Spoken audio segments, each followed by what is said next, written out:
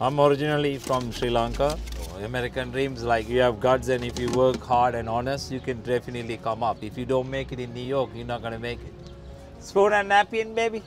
My name is like Kandaswamy Thiru Kumar. People call me as Dosa Man and Thiru also. Yeah.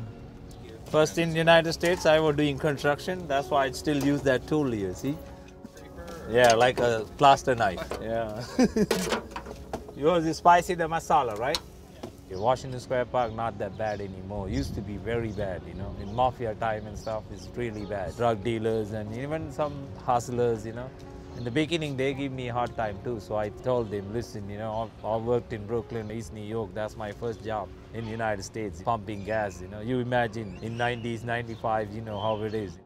Crepe made out of rice and lentil, filled with potato, and then served with the coconut chutney and a lentil soup. It's 11 different veggies in the lentil. People say meat have energy, but if you have good vegan food and you know, you will feel more energy. I can challenge anybody. I work like since 5 o'clock to night 9 o'clock, same speed.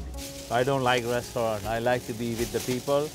You know, I like to see he's buying food. I want to direct deal with him. You know, if it's a restaurant, it's different. Somebody else take the order, so I cannot provide what is he needs. You know, so he's right here. So like whatever he needs, I can provide exactly he wants. So he, he can be happy. I can be happy. then he tell more people. That's how I build like my fan club. You know. Yeah, all around the world. Okay, this is it.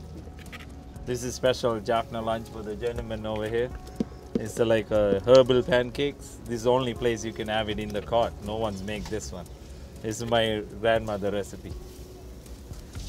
It's like three different lentils and three different rice, natural herbs, everything in the crepe, in the batter. Because you know, thing is like if I all go large like restaurant, then I have to listen to the investors. I cannot do what I want to do. Right now I am happy and peaceful, so I want this life to be very nice, you know, just to stick with it.